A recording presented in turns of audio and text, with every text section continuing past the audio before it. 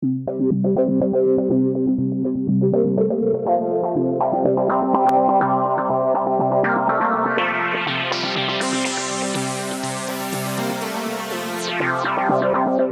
Centre for Addiction and Mental Health, or CAMH, is Canada's first and largest treatment and research facility dedicated to both addictions and mental health, located in the heart of Toronto.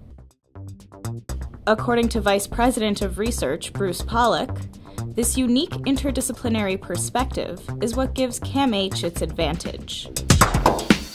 That's where discoveries are made at the, uh, the intersection of two different fields.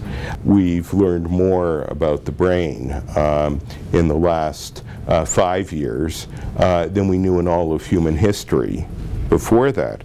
And this kind of, there's an exponential uh, growth in this, and uh, this offers, for the first time, uh, tremendous hope uh, to our um, patients and their families. Inside CAMH, each lab is devoted to its own discipline and run by specialists from various fields. But they are united by one ultimate goal to better understand how the brain functions so they can effectively treat patients with psychiatric disorders. In some instances, for example, people don't respond to medication. Why?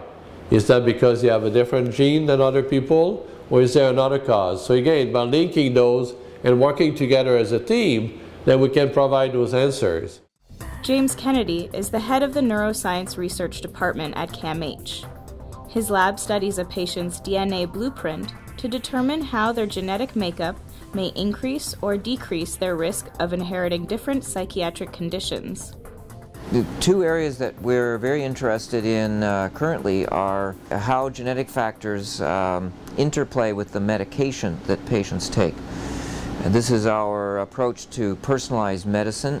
Uh, we call this pharmacogenetics, that is using genetic factors to predict um, which medication should be prescribed for a given individual patient in order to avoid side effects and to get the best response.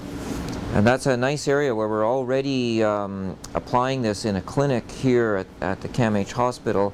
We're already giving genetic information to the doctors so they can uh, write their prescriptions with more knowledge. This area of research helps doctors avoid unnecessary complications.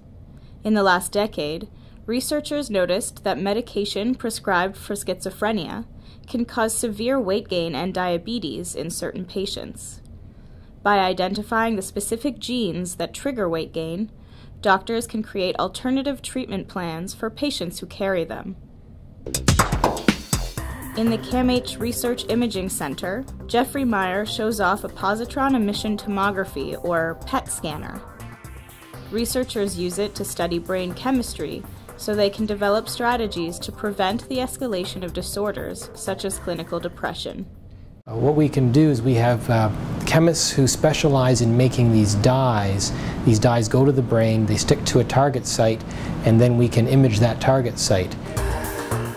Over in the MRI unit, Nancy Lobaugh uses magnetic resonance imaging technology to answer questions about brain structure, brain function, and various aspects of brain physiology. What it allows us to do is to measure the connections between brain regions. Is there a connection? Is it somehow different in a person with a psychiatric disorder from a person who doesn't have the psychiatric disorder? How do they differ in aging, in development?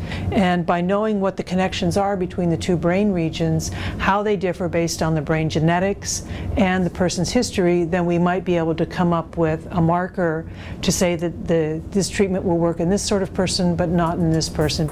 The research infrastructure, funded by the Canada Foundation for Innovation, not only allows researchers to understand how medication affects the brain, but it also gives them the tools to develop new treatments.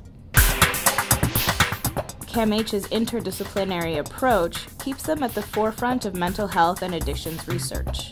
The combination of genetics and imaging technology allows them to conduct the most advanced neurological investigations and develop the most effective treatments for psychiatric disorders.